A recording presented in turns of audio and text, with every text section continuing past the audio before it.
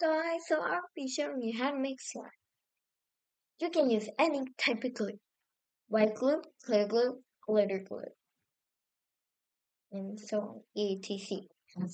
And magical liquid.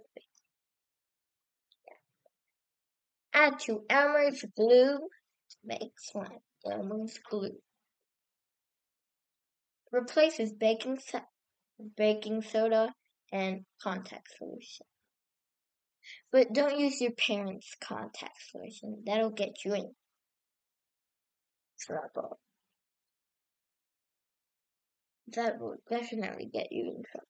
So don't use baking soda unless you have parental supervision.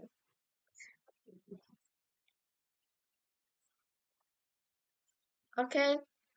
I mean, that's all I have to say. And if your glue gets really sticky, add a little bit of activator. And if it gets too watery, add some glue, not water. Or else that'll make it really sticky and you run out of activator. So. Okay, that's all for today. Hope you enjoyed the 1 minute 30 second video. Bye. Bye.